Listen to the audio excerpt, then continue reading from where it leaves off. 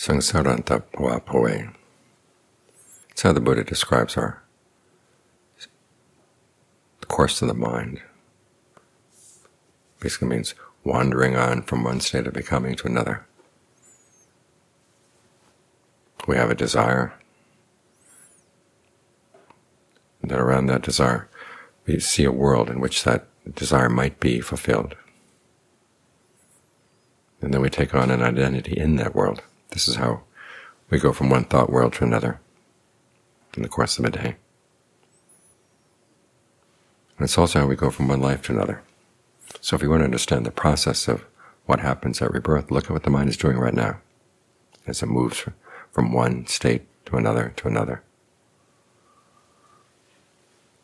And you realize you can get involved in some pretty negative states if you're not careful. Especially at the moment of death, you get desperate. You'll jump at anything.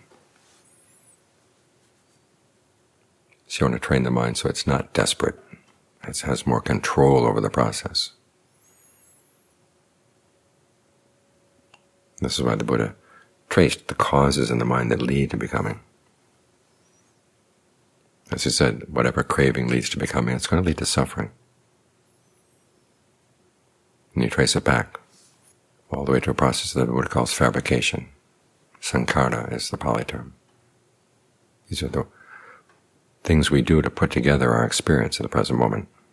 We have raw material coming in from the past, the things we did, said, thought in the past, that are like seeds that are sprouting right now. And in that field of seeds, we have our choice as to which ones we want to pay attention to, which ones we water with our attention. And then we have our intentions in the present moment that put together those potentials and turn them into an actual experience. Like right now, you're focused on the breath. The fact that you have this body here, sitting here, comes from past actions. Some of the actions are pretty recent. Others go way back. But you can do things with the potentials you have here right now. The breath is one such potential. You can breathe long, you can breathe short, fast, slow, heavy, light. No one is forcing you to breathe in any particular way. This is one area where we still have our freedom. So take advantage of it, because the way you breathe is going to have an impact on the pleasure or pain you feel right now. You can breathe in ways that are tight and constricted. You can breathe in ways that are open, free-flowing. And you notice as you focus in on the breath, there are other aspects of the process of fabrication that go along with it. The Buddha outlines altogether three. There's bodily fabrication, which is the in and out breath. Verbal fabrication, which is, in technical terms, directed thought and evaluation. In simple terms, it's basically the way you talk to yourself, what you focus on, what you pay attention to, and what you tell yourself about what you're paying attention to, the questions you ask, the comments you make.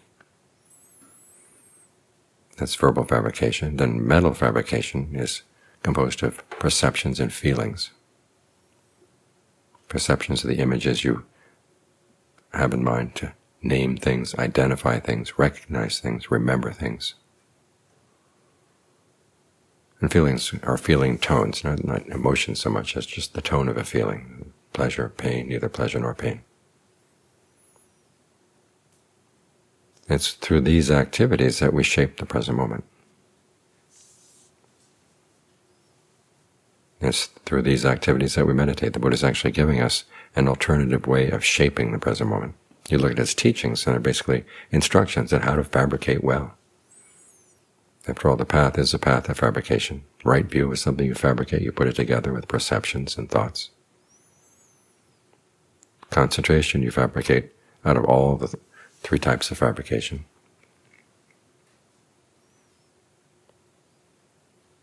And everything in between is fabricated one way or another. So the Buddha even gives you instructions on how to breathe. Breathe in a way, he says, where you're sensitive to the whole body. Breathe in a way where you calm the bodily fabrication. Before you calm it down, breathe in a way that gives rise to a sense of fullness and refreshment. Breathe in a way that gives rise to a sense of pleasure breathe in and out, it's sensitive to the mental fabrications, the perceptions and feelings that are accompanying the breath, the perceptions that are helping you stay with the breath. And then breathe in a way that calms those down as well. Breathe in a way that gladdens the mind. Breathe in a way that concentrates the mind. Breathe in a way that releases the mind. So even in something as simple as how to breathe, the Buddha gives instructions. Same with how to talk to yourself. You read through the different suttas. It's all instructions. This is a good way to think about this topic. This is a good way to think about that topic. As for the perceptions, you may notice that the Buddha uses a lot of analogies.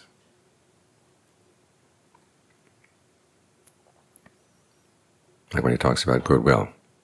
He says, as a mother would protect her only child, you should protect your goodwill.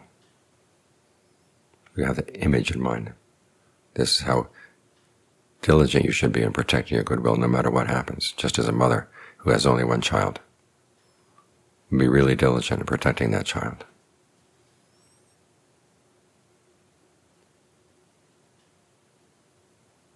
So you read through the canon, you realize you're getting instructions on how to fabricate the present moment in a skillful way.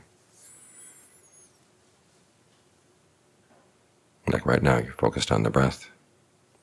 You're talking to yourself about what ways of breathing feel good and what ways of breathing don't feel good, and how you can induce the ones that do feel good. And you have a perception in mind of where the breath is coming in. You can play with that a lot. If you have pains in the chest, you can have a perception of the breath coming in the back. Pains on both sides of the body, pain, perceive the breath coming in both sides of the body. Loosen up the pain, alleviate the pain. Tightness here, tightness there. Think of the breath flowing through those areas of tightness. So you learn how to perceive the breath, learn how to breathe, how to talk about the breath in ways that give rise to a sense of well-being. That's the feeling you want right now. When the Buddha defines the various levels of right concentration, he starts out with the feeling tone. Pleasure and refreshment, or just pleasure, or equanimity. Those are the things we're working on. And as you get more and more sensitive to how these processes put together a state of concentration, it gives you insight into how you create other states of being, other states of becoming as you go through the day. And when you know how to create them, you also know how to take them apart. And this is important because we can get ourselves into some pretty negative states. Greed, anger, delusion, fear, anxiety. These are all things we put together by the way we breathe, by the way we talk to ourselves, by the perceptions we hold in mind. And so you want to learn how to do this in alternative ways. The important thing is that you keep in mind that principle that what you experience right now is partly due to past karma, but not totally due to past karma. In other words, there is room, wiggle room, you might say, in the present moment. All too often, we hear, hear the Buddhist teachings boiled down to one word, let go or accept. But the Buddha is not a one-word kind of person, and his teachings are not one-word teachings. For example, with acceptance, the only places I know where he uses the word accept is one, when he accepts invitations, and two, when he says when there's a death in the family or death of someone you love, you have to learn how to accept that fact. If you try to deny it, you're going to cause yourself lots of suffering. But there are a lot of areas where the Buddha doesn't, doesn't say accept or not accept at all. His own way of boiling things down to the simplest terms is that skillful actions should be developed, unskillful ones should be abandoned. It's not a one-word teaching. It starts with a distinction. And it's a distinction that requires sensitivity, because what's going to be skillful in any situation is going to depend on what you see it happening in that situation, how you understand it, and how perceptive you are It's something that's going to be developed over time. You can't say, well, I want to be skillful, and tomorrow, boop, there you are, skillful. As with any skill, it's going to take time, so it requires patience. But at least you get that question in the mind, what would be the skillful thing to do right now? In his teachings to his son, Rahula, he said, make it your intention that you're not going to harm anybody with what you do or say or think. So if you see an intention, ask yourself, would this harm anybody? But you think it would, then you don't follow it. If you don't think it's going to cause any harm, go ahead and do it. If you see that when you're doing it, it actually does cause harm, you stop. If it's not causing harm, you can continue. When it's done, you're still not done. You look at the long-term results. And you see that what you thought was going to be okay was not, you actually did harm somebody. You learn from that. Talk over with somebody you trust. Make up your mind you're not going to repeat that mistake. And then keep on training. If you see that you didn't cause any harm, then take joy in that fact. Give yourself encouragement. That's the basic principle. Then when situations come up, you can look at what you're doing, and you may see that certain things are getting in the way. Say there's anger something wrong is happening. It's either an injustice or someone's been disrespectful, discourteous, and you're angry about it. Now, the Buddha doesn't say, well, just accept the situation or just accept the anger or try to accept both, which would be really difficult. He says, look at what you're doing that's making it hard to see what is skillful, the skillful thing to do. And that's the anger. If you can get the anger out of the way, then you can look at the situation and realize, okay, is this is something that requires a response, or did I misperceive it to begin with? And if you see that it does require a response, the anger is out of the way, you're in a much better position to come up with a skillful response. So you look at that anger. That's the important thing is that you learn how to look at it and not feel that you're totally surrounded by and totally consumed by it. There's part of your mind that is not angry. Identify with that part. That's the part that's going to see you through.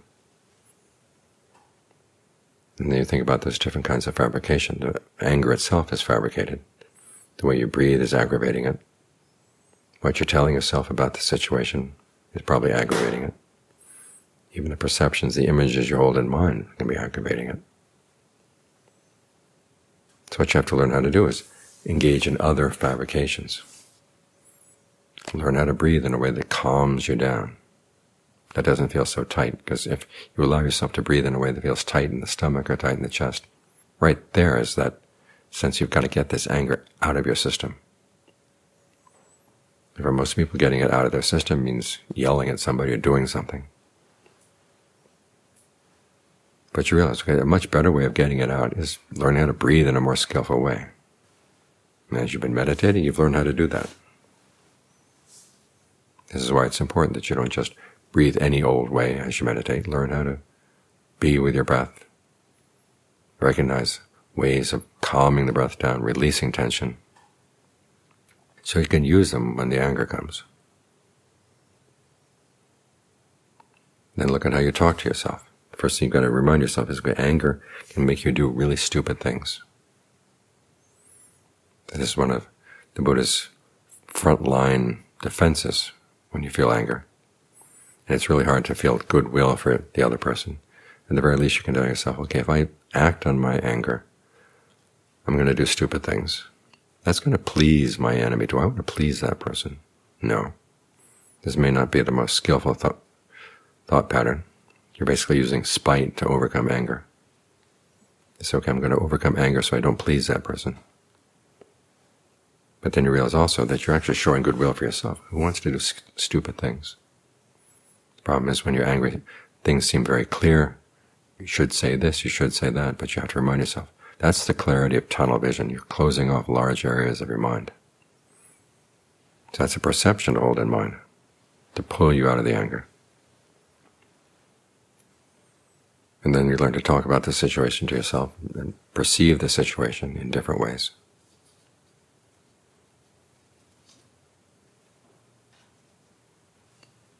So you're not aggravating the anger, but you're not lying about the situation either. You can calm yourself down. One of the ways of thinking that the Buddha recommends is you say, well, this person has done something to displease me. He's harming me, harming somebody I love. Or he's actually some, helping somebody I hate. But what should I expect? This is the way the world is. Or this person has already harmed me in the past, has harmed people I love, is helping people I hate. But what should I expect? Or this may happen in the future. What should I expect? Finally, he says, don't get worked up about impossibilities. There's another place where he has you reflect on the nature of speech. There's kind speech and unkind speech, harsh speech and gentle speech, true, false. There are people who tell you the truth, people who lie. This is the nature of human speech. This doesn't tell you to just to give up and accept it. It's basically saying, this kind of behavior that's got you angry is not all that outrageous. It's all over the world. The purpose of this is to remind yourself that okay, this person is not doing anything extraordinarily bad, so it doesn't require extraordinary rights on your, or give you extraordinary rights to do whatever you want. You have to be careful and skillful in how you respond. You don't have the response that just keeps the cycle of anger and keeps up the cycle of injustice. You want to act in a more considered way, a more skillful way, a way that actually gives results. Because all too often when anger comes in, we just want to get it off our chest. We don't really lose our concern for what the result's going to be. That right there is blotting out whatever sense of shame or compunction may have. Shame here being the healthy sense of shame. That's the opposite of shamelessness. It's not the opposite of pride. What it does have you nurture a sense of pride that you are a skillful person and trying your best to be as skillful as you can. But he does say shamelessness is not going to help anything at all. And compunction is thinking about the consequences of the action and not wanting to do anything unskillful. Those two qualities you want to maintain. So you can't just feel, well, I need to express my anger regardless of the consequences. Let the chips fall where they will. If you really want to improve the situation, you've got to think about how to do it skillfully. And you've learned how to do that because you've learned how to deal with these three kinds of fabrication in your meditation, and you learn how to think about the potential you have for anger, the potential you have for anxiety, the potential you have for whatever unskillful habits you may have. Think about them ahead of time. All too often we think that meditation is simply a matter of what you're doing in the present moment. But if you know that you have some unskillful habits, think about them. So you don't fall for whatever the mind tells itself when they come in. You have to have alternative ways of talking to yourself, alternative ways of breathing, alternative perceptions to hold in mind.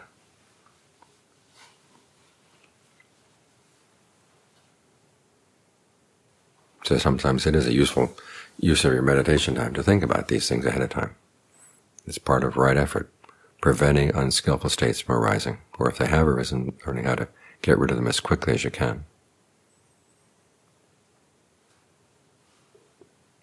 So there are times when you meditate and you think about the future.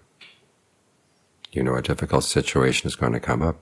How are you going to get through that situation without doing something unskillful? So you don't get overcome by anger and then left with the results of having acted on anger without much thought.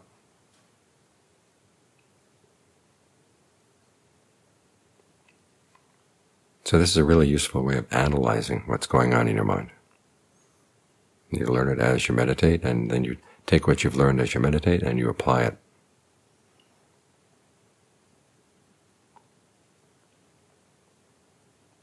This is one of the ways in which the meditation gets up off the cushion and actually helps with your life. Remember, the word for meditation in Pali is bhavana, means to develop. Whatever good qualities you can develop in the mind. It's all part of meditation. Whether you're sitting here with your eyes closed or in the middle of an argument with somebody else, develop. Be skillful, abandon unskillful qualities.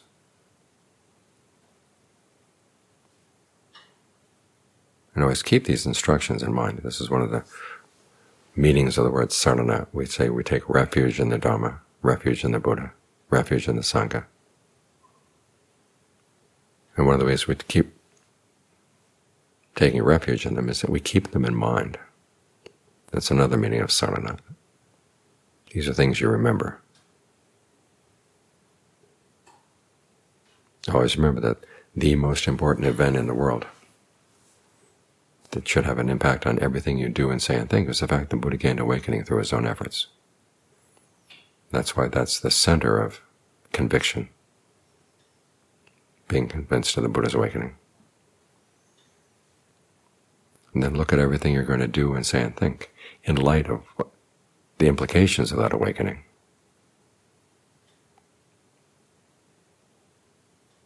And I'm not just dealing with concepts like not self or emptiness.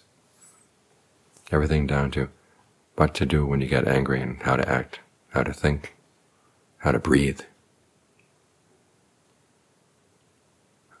What perceptions to hold in mind, so you can re respond in a skillful way. Day after day after day.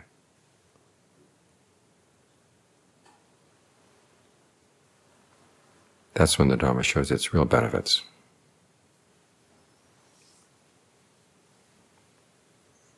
And you see that you really can depend on it as a refuge.